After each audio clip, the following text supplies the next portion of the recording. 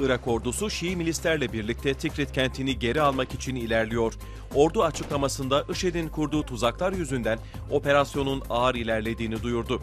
Saddam Hüseyin'in memleketi Tikrit geçen yıl IŞİD örgütünce ele geçirilmişti. NATO Genel Sekreteri Stoltenberg, NATO karargahında yaptığı açıklamada Moskova ve Kiev'e Ukrayna'daki ağır silahların akıbetini sordu.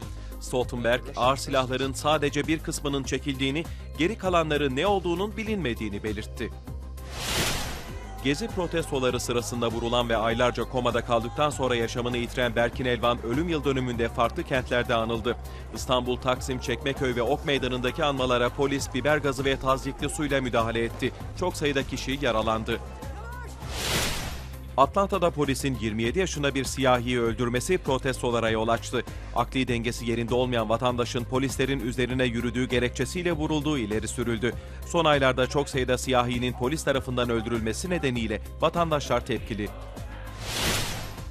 Rus İnsan Hakları Komisyonu, Kremlin muhalifi politikacı Boris Nemtsov'u öldürdüğü iddiasıyla tutuklanan Saur Dadıyev'in işkenceye maruz kaldığını ileri sürdü. Komisyon cezaevinde ziyaret edilen Dadıyev'in vücudunda çok sayıda işkence izine rastlandığını belirterek soruşturma istedi. Avrupa Merkez Bankası Başkanı Mario Draghi, Frankfurt'ta yaptığı açıklamada tahvil alım programının ilk olumlu etkilerini göstermeye başladığını söyledi. Uygulanacak programla Avrupa Birliği ekonomilerine parasal teşvik sağlanması ve deflasyon tehdidinin önlenmesi hedefleniyor.